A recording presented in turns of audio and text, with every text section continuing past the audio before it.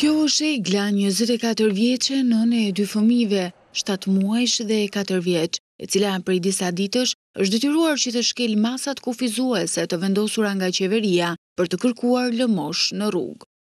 Këtë virusit kam nejt në shpi, vetëm këto ditë po bëj që dal se ngela deshin fmit që të hashin. Kërkoj dhe ke furat mjapin.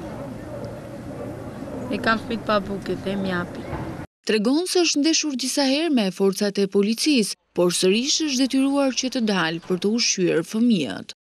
Kur më ngrenë çohem iki.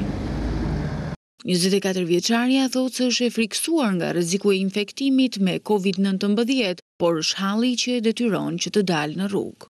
Po nuk ke frikë për virusin që ke nxjerrë fëmijët pasi nuk duan? Po kam, po duan të hajnë. Kam shumë jo pak.